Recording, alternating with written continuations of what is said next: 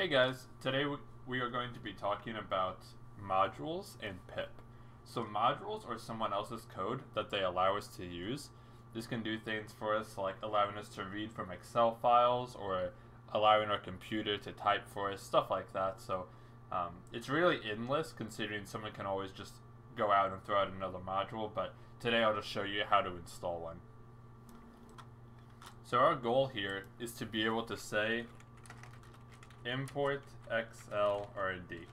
So XLRD is a module we're going to be use, using later down the line, so we might as well go ahead and install it.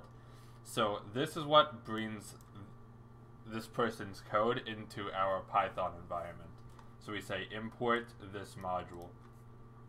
So when we run this, Python says, I don't know what XLRD is. That's not installed or anything.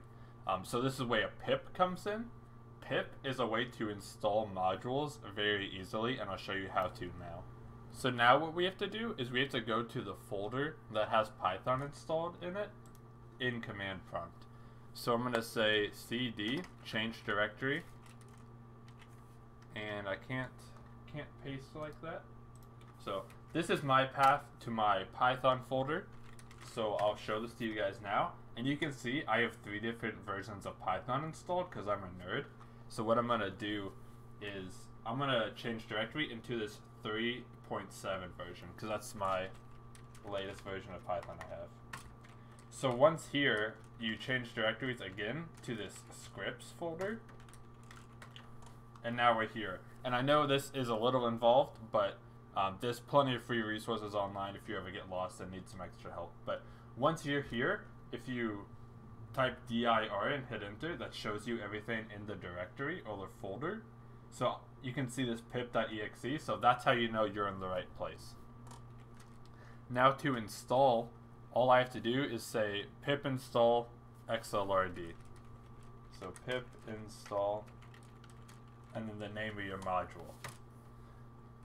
so hitting enter, you can see it went ahead and installed that package for me.